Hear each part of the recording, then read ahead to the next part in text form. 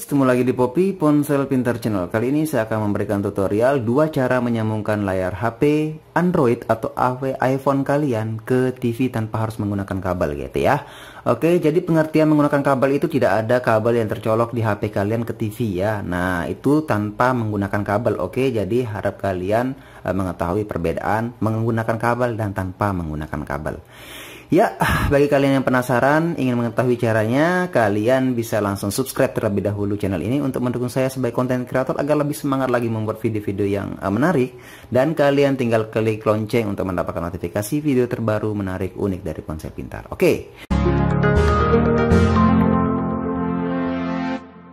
Ya pertama kalinya uh, di sini kebetulan saya menggunakan HP Android ya, HP Android dari Xiaomi. Nah kalian harus mengetahui HP kalian itu support net kabel apa tidak gitu ya.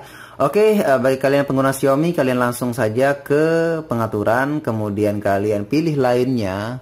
Kemudian kalian pilih tampilkan nirkabel. Nah, jika seperti ini uh, berarti HP kalian sudah support nirkabel. Untuk HP Xiaomi saya yakin sudah support semua ya. Tinggal kalian up uh, apa update iOS-nya saja ya. Oke. Okay? Kemudian untuk HP lain dengan uh, merek berbeda dan tipe berbeda gitu ya, kalian tinggal cari saja menggunakan aplikasi yang sudah saya taruh linknya di bawah ini. Kalian tinggal klik saja, kemudian kalian unduh dan kalian install di HP kalian dan kemudian kalian jalankan. Setelah kalian jalankan dan nanti akan nampil seperti ini ya. Nah, jika ada nampil seperti ini otomatis HP kalian itu sudah support nirkabel. Jika uh, saat kalian menjalankan aplikasi yang ada di bawah deskripsi itu, terus kalian uh, eh, HP kalian itu not phone gitu tulisannya atau tidak ditemukan gitu ya, otomatis HP kalian itu belum support nirkabel. Jadi kalian tidak bisa menggunakan cara yang ada di dalam video ini ya, untuk menyambungkan layar HP ke TV tanpa menggunakan kabel. Ya, pertama kalinya uh, kita langsung saja ke remote TV-nya ya. Kemudian kalian klik search Oke, nah pertama kali saya akan menjelaskan uh, tanpa menggunakan kabel ada dua cara ya. Nah dua cara itu yang pertama uh, saya menggunakan smart TV gitu ya. Nah bagi kalian tidak memiliki smart TV kalian bisa menggunakan cara kedua gitu ya. Jadi bagi kalian tidak memiliki smart TV kalian langsung saja percepat videonya untuk uh, apa namanya mengetahui tutorial cara kedua ya agar kalian tahu menyambungkan layar HP ke TV menggunakan TV LED, LCD, uh, flat dan lain-lain gitu. Oke. Saya langsung ke Smart TV kemudian klik screen mirroring. Ya, untuk Smart TV itu screen mirroring itu adalah uh, apa namanya uh, fitur yang sangat berguna sekali ya untuk menyambungkan layar HP ke TV ya. Kalian tidak perlu menggunakan internet gitu ya. Kalian tidak perlu menggunakan internet, hanya cukup HP kalian itu support net kabel, kalian bisa langsung menyambungkan layar ke TV. Kalian bisa lihat sana ya tutorialnya ya, setting-settingnya ya di screen mirroring HP TV kalian ya. Kemudian kalian ke pengaturan, kemudian kalian pilih lainnya, kemudian pilih nirkabel dan di sini sudah muncul Samsung 32 ya. Tuh Samsung 32, kemudian kita klik untuk menyambungkan ya. Lihat, menyambungkan. Kita akan tunggu di TV-nya nanti ada keterangan ya, menyambungkan ke Redmi ya. Nah, itu memproses, kita akan tunggu sejenak sampai layar HP Xiaomi saya ini tersambung ke TV di depan saya itu. Oke, sekarang sudah tersambung. Jadi sekarang uh, saya sudah bisa uh, menggunakan layar saya ini dan nampil di uh, TV. Apa pun saya uh, buka di HP saya ini akan muncul di layar TV tersebut gitu. Oke. Okay? Nah, kalian bisa internetan juga ya di sini ya. Kalian bisa menggunakan uh, paket data kalian untuk internetan gitu terserah kalian ya. Mau YouTubean, mau nonton film, mau browsing dan lain-lain bisa juga gitu ya. Oke, terserah kalian gitu. Oke. Dan uh, baik ini khusus untuk pengguna uh, TV smart TV ya. Nah, bagi kalian yang tidak memiliki smart TV, kalian jangan khawatir. Nah, karena ada cara kedua ya untuk uh, menyambungkan layar HP Android atau iPhone kalian ke TV tanpa menggunakan kabel ya dan tanpa menggunakan smart TV. Oke, yang cara kedua adalah uh, kalian uh, langsung saja menggunakan namanya alat yang bernama Anikes. Nah, alat ya bukan kabel, ingat alat bukan kabel. Jadi ini cuma dicolokkan di, ke, ke TV kalian ya, bukan ke HP. HP tetap tidak ada kabel ya, oke? Okay? Jadi ini adalah alatnya, kalian masukkan uh, eh, HDMI port HDMI ini ke colokan TV kalian dan ini ke port uh, eh, USB ini ke colokan di HP TV kalian juga ya. Nah, kita langsung saja masukkan ya. Saya akan kembalikan terlebih dahulu uh, apa namanya ini ya, yang smart TV ini ke TV biasa ya, agar kalian tidak bingung, oke? Okay? Saya sudah kembalikan kemudian kita akan masukkan ini anikesnya oke oke ini adalah port HDMI-nya ya, kita akan masukkan langsung. Kemudian ini WiFi-nya dan ini port USB-nya kita masukkan di sebelah sini. Oke. Dan bagi kalian tidak memiliki port USB di TV kalian, kalian bisa menggunakan charger HP ya untuk daya dari Anikes-nya ya. Oke, saya akan ke posisi semula ya. Ya, sudah di posisi semula sekarang dan kita akan setting di TV-nya, klik search. Nah, tadi kan kita menggunakan screen mirroring ya untuk smart TV dan sekarang kita menggunakan HDMI. Nah, ya ini adalah tampilan uh, Anikes M2 saya ya. Nah, ini kita di mode uh, iOS ya.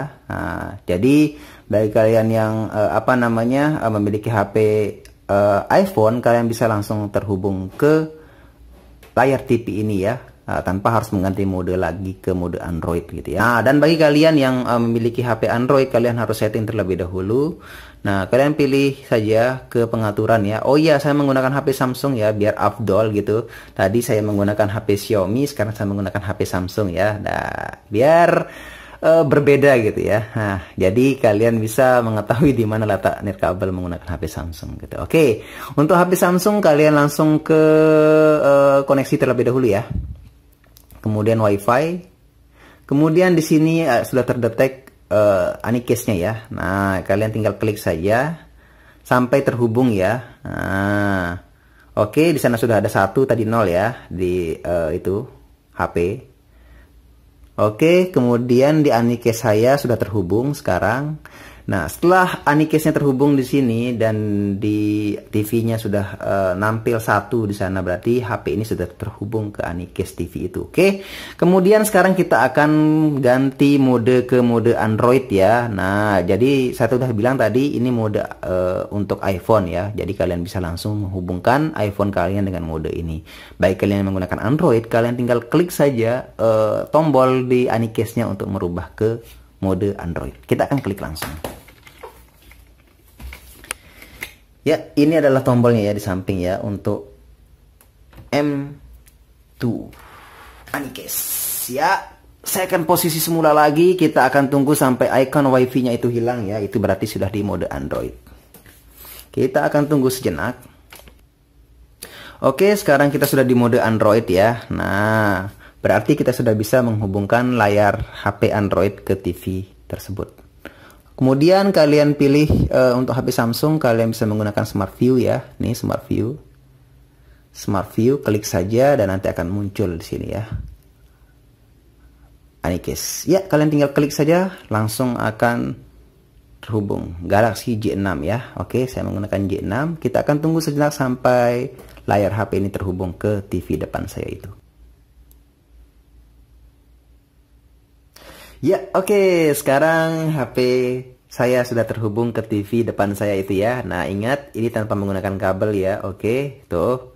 Ingat, tanpa menggunakan kabel itu tidak ada kabel yang dicolok di HP ini ke TV gitu ya. Nah, ini menggunakan alat bukan menggunakan kabel. Oke. Okay. Jadi inilah cara kedua untuk menyambungkan layar HP kalian ke TV tanpa menggunakan kabel. Oke. Okay?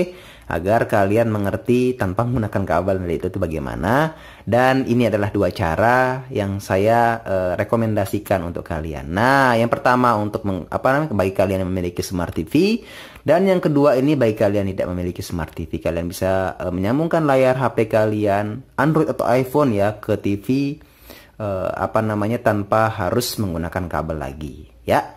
Jadi harap Ingat pertama kalinya kalian harus mengetahui bagi pengguna Android ya, mengetahui HP kalian itu sudah support kabel apa belum. Saya sudah menaruh link deskripsi ya dan saya sudah jelaskan tadi di awal video. Ya, dan sekarang uh, kalian bisa langsung saja menggunakan ini ya, uh, menggunakan HP ini untuk bermain game, nonton YouTube, nonton video dan lain-lain. Karena banyak pertanyaan dari kalian itu, bang, saya kan menggunakan wifi uh, HP apa uh, rumah saya untuk menyambungkan HP ke TV gitu ya menggunakan Anikes, HDMI dongle dan lain-lain gitu ya. Apakah bisa internetan? Bisa guys. Nah, bagaimana caranya kalian langsung ke menu setting saja, kemudian langsung kalian koneksi wifi dan kalian masuk saja ke wifi rumah kalian gitu ya.